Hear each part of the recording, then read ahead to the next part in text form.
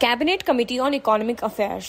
प्रधानमंत्री श्री नरेंद्र मोदी की अध्यक्षता में आर्थिक मामलों की कैबिनेट कमेटी ने प्राइस सपोर्ट स्कीम और प्राइस स्टेबलाइजेशन फंड के तहत खरीदे गए चने का निपटान और पीएसएस के तहत मात्रक खरीद सीमा को मौजूदा 25 परसेंट से बढ़ाकर 40 परसेंट करने के लिए तुअर उड़द मसूर के रुपए के संबंध में मंजूरी दी।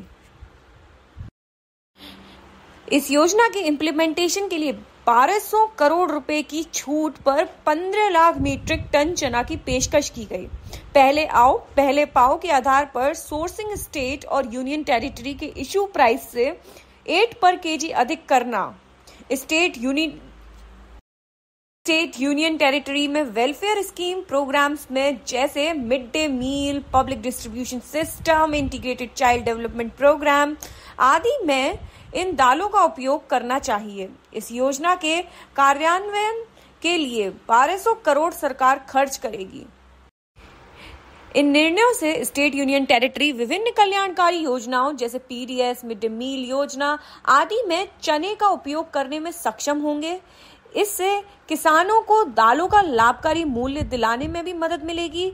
साथ ही में अधिक इन्वेस्टमेंट करके ऐसी दालों को उगाने के लिए और अधिक किसानों को प्रोत्साहित किया जाएगा और उन्हें उनकी उपज का लाभकारी मूल्य दिलाने में मदद मिलेगी।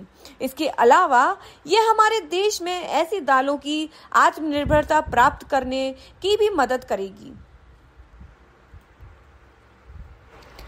आत्मनिर्भरता प्राप्त करने में भी मदद करता है।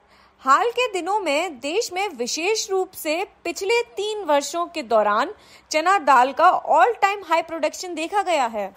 भारत सरकार ने प्राइस सपोर्ट स्कीम के तहत राबी 2019 से 20, 2020 से 21 और 2021 से 22 के दौरान चना की रिकॉर्ड खरीद की है। इससे सरकार के पास पीएसएस और पीएसएफ के तहत आने वाले राबी सीज़न में भी 30.55 लाख मीट्रिक टन चना उपलब्ध है।